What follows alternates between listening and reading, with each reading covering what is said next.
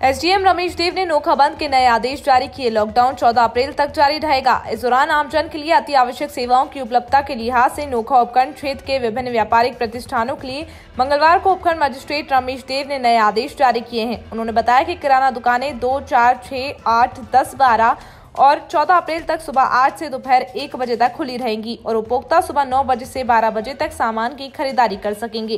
वहीं रिलायंस स्मार्ट एक, तीन, पाँच, सात, नौ, ग्यारह और तेरह अप्रैल तक सुबह नौ बजे से एक बजे तक और शाम पाँच से साढ़े आठ बजे तक खुला रहेगा।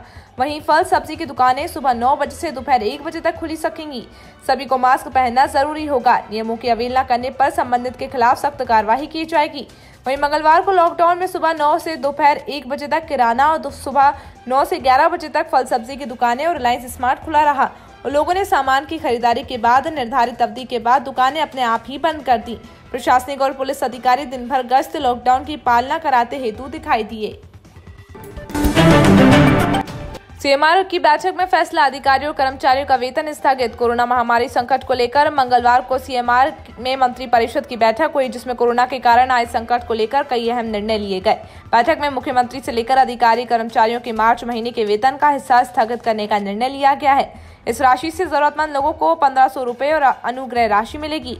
बैठक में निर्णय किया गया कि मुख्यमंत्री उप मुख्यमंत्री मंत्रीगण, विधानसभा अध्यक्ष, नेता प्रतिपक्ष, मुख्य सचेतक उप मुख्य सचेतक, समस्त विधायक गण के मार्च महीने के सकल वेतन पिछहत्तर फ़ीसदी हिस्सा स्थगित रखा जाएगा। इसी तरह अखिल भारतीय सेवा के अधिकारियों का मार्च महीने का साठ प्रतिशत वेतन, राज्य सेवा और अधीनस्थ सेवा के अधिकारियों, कर्मचारियों का पचास प्रतिशत वेतन और चतुर्थ श्रेणी क्रमिकों को छोड़कर अन्य क्रमिकों का मार्च महीने के सकल वेतन का तीस प्रतिशत वेतन स्थगित रखा जाएगा।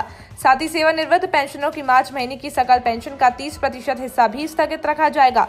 लेकिन चिकित्सा, स्वास्थ्य सेवाओं के सभी स्वर्गो के अधिकारियों, कर्मचारी पुलिस कर्मियों चतुर्श्रेणी कर्मचारी, संविदा और मानदेय पर कार्यरत कार्मिकों को वेतन स्थगन से मुक्त रखा गया है।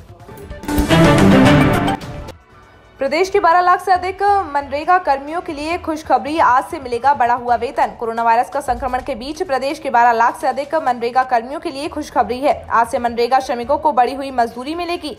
आज से प्रत्येक श्रमिक को काम करने पर दो सौ प्रतिदिन मजदूरी मिलेगी। इससे पहले मनरेगा श्रमिकों को एक रुपए प्रतिदिन मजदूरी मिल रही थी, लेकिन आज एक अप्रैल से प्रतिदिन अड़तीस रुपए बढ़ी हुई मजदूरी मिलेगी। केंद्र सरकार की ओर से मनरेगा श्रमिकों की मजदूरी बढ़ाने का फैसला लिया जाने के बाद राज्य सरकार ने भी इसे लागू कर दिया है।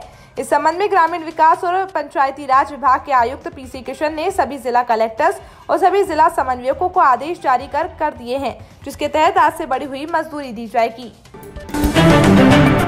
शहर में लॉकडाउन की पालना नहीं करने वालों की अब खैर नहीं। गली गली घूमने वाली बाइक सवार, पुलिस हुई रवाना। कोरोना वायरस के चलते पूरा भारत लॉकडाउन है। बीकानेर में इस लॉकडाउन को सुनिश्चित करवाने और डिस्टेंस बनाए रखने के लिए आज बाइक सवार पुलिस टीम रवाना हुई है, जो की शहर के अंदरूनी गलियों में घूमकर लॉकडाउन का उल्लंघन करने वालों के खिलाफ कार्रवाई और समझाइश करेगी। इसके लिए आवश्यक सामान वाली दुकानों आरोप लगने वाली भीड़ को भी सुनिश्चित करवाएँगे और सामान खरीदने के लिए पहुँच रहे लोगों ऐसी दुकान के बाहर डिस्टेंस बनाए रखने की अपील करेंगे। एसपी प्रदीप मोहन शर्मा शर्मा ने टीम को रवाना करते हुए बताया कि शहर के ऐसे कई अंदरूनी हिस्से हैं जहाँ पुलिस की जीप या बोलेरो नहीं जा सकती।